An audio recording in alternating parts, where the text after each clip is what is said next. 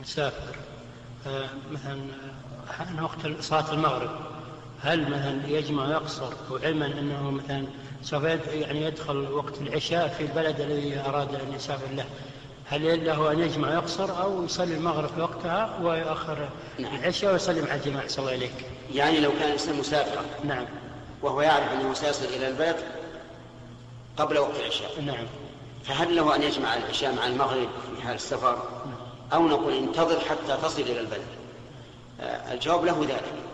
له أن يجمع العشاء إلى المغرب اولا لأنه في سفر وقد دخل وقت المغرب و ووقت المغرب والعشاء واحد في الحال التي يجوز به الجمع التي يجوز بها الجمع.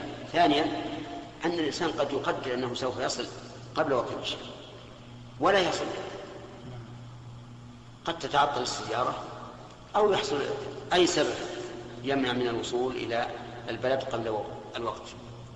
لكن نقول الأولى ما دمت تعرف أنك سوف تصل إلى البلد قبل وقت الثانية الأولى ألا تجمع طيب أحسن الله إليك. لو مثل أخرها مثلا المغرب والعشاء حتى إذا وصل البلد آه، صلى جمعين نعم جمع وقصر يعني. نعم.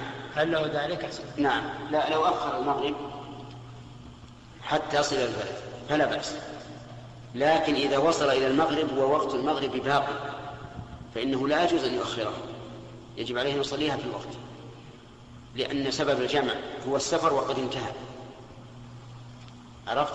ثم إنه في هذه الحال أنت قلت يقصر يجمع ويقصر وهو لا لا يقصر ابدا على كل حال لا يقصر. لأن القصر سببه السفر فمتى انتهى السفر انتهى القصر. نعم.